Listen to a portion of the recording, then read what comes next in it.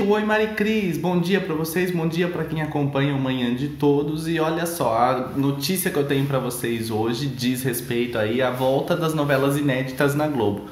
Quem tá curioso para saber se a Lourdes, a personagem da Regina Casé em Amor de Mãe, vai conseguir encontrar o Domênico, que é o Chai Suede, tem que esperar um pouquinho, porque a Globo planeja essa volta aí de Amor de Mãe só em outubro. E isso se a pandemia de coronavírus permitir.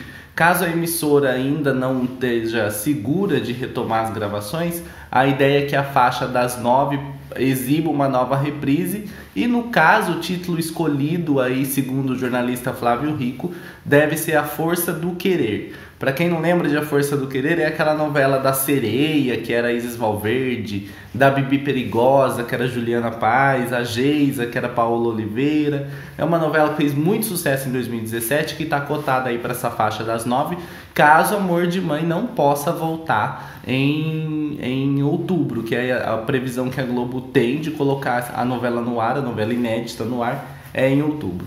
É, em outro, a outra faixa que deve abrigar aí mais uma reprise é a faixa das seis. Porque nos tempos do Imperador, a próxima novela inédita das seis ficou para janeiro do ano que vem. É uma novela muito grandiosa, cenários grandiosos, aquele, elenco, é, aquele figurino de época. Então a Globo não se sente segura de colocar a novela no ar agora, no momento em que ela precisa contar com menos profissionais nos estúdios para evitar aglomeração e tudo mais. Essa novela, nos tempos do imperador, ela acompanha a história do Dom Pedro II, que vai ser vivido pelo Celton Mello. E a Globo está exibindo agora, às 6 horas, Novo Mundo, que traz a trajetória ali de Dom Pedro I.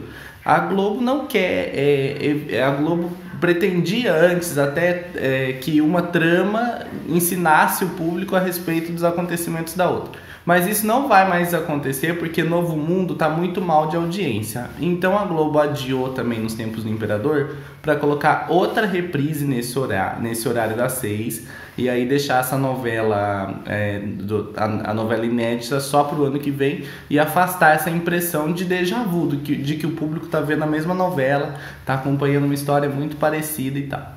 Na, na faixa das seis, a trama que deve pintar por ali é Flor do Caribe, segundo informações aí também do, da jornalista Carla Bittencourt.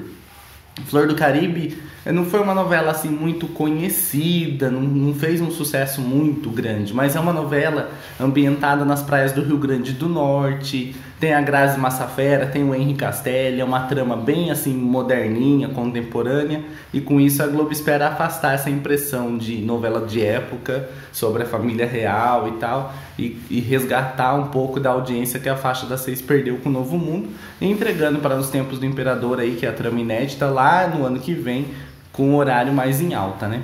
Por hoje é só, espero falar com vocês aqui na próxima semana. Quarta-feira a gente está junto de novo. Um beijo para todo mundo, boa semana e até mais.